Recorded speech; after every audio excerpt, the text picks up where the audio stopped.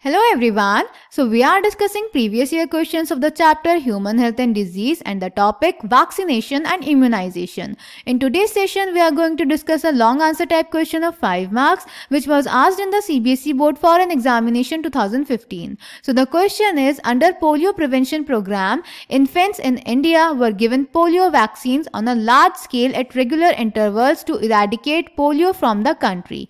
A part what is a vaccine? Explain how does does it impart immunity to the child against the disease and B part with the help of an example each, differentiate between active and passive immunity. तो बेटा, इस question में हमें बोल रहा है कि हमारी कंट्री में पोलियो प्रोग्राम के अंडर बच्चों को रेगुलर इंटरवल्स पे पोलियो वैक्सीन दी गई थी। तो ए पार्ट में हमें बताना है कि वैक्सीन क्या होती है और ये इम्यूनिटी कैसे प्रोवाइड करती है और बी पार्ट में हमें एग्ज़ाम्पल के साथ एक्टिव और पैसिव इम्यूनिटी में डिफरेंस बताना है। So let's check the answer तो बेटा, ए पार्ट में बताना था वैक्सीन क्या होती है और वो कैसे इम्यूनिटी प्रोवाइड करती है। तो बेटा वैक्सीन वैक्सीन क्या होता है? जो पैथोजन होता है, उसको हम इनएक्टिव करके या वीक करके ह्यूमन बॉडी में इंसर्ट करते हैं या फिर उसके एंटीजेनिक प्रोटीन्स को हम बॉडी में डाल देते हैं, जिसके अगेंस्ट बॉडी एंटीबॉडीज प्रोड्यूस करती है। क्लियर तो इस केस में जो ह्यूमन की बॉडी है, वो अपने आप एंटीबॉडी प्रोड्यूस कर रही है तो ये हो जाएगा active immunity clear so the answer is A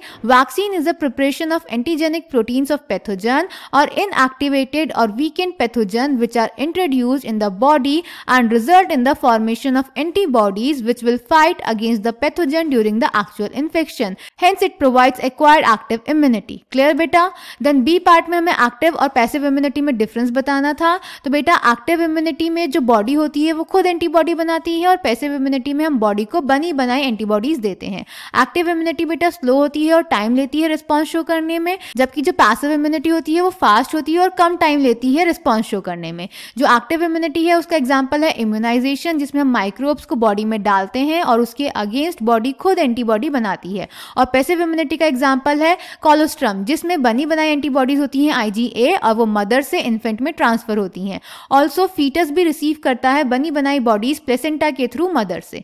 Clear so the answer is B part active immunity when a host is expose to antigens which may be in the form of living or dead microbes or other proteins, antibodies are produced in the host body. This type of immunity is called active immunity. Passive immunity, when ready-made antibodies are directly given to protect the body against foreign agents, it is called passive immunity. Active immunity, active immunity is slow and takes time to give its full effective response. Passive immunity, passive immunity is fast and takes less time to give its full effective response.